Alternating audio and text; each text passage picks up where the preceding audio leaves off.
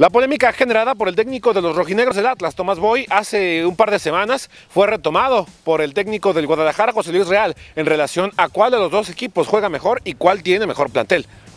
En mi opinión, como técnico de Chivas, somos mejores y tenemos mejores jugadores que Atlas. Yo creo que todos los entrenadores podemos hablar y decir, mi equipo juega mejor. Y yo creo que Tomás pues, haría muy mal decir que su equipo no juega mejor que nosotros.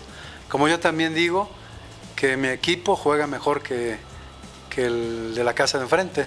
Entonces, estamos cada quien en nuestro derecho de poder decir, mi equipo es mejor y mi equipo es mejor. Él lo dice, yo también lo digo. Atlas no se va a ir. yo estoy seguro que Atlas eh, tiene todo lo necesario para, para alejarse del problema del porcentaje. Fue una buena decisión. Hubo cosas externas que rodearon el que finalmente no se, no se llevara a cabo eh, y, la situación, por ejemplo, ahora es diferente. Y yo en esa parte ya lo sabía. Entonces, de alguna manera, eso, eso fue un, argumento.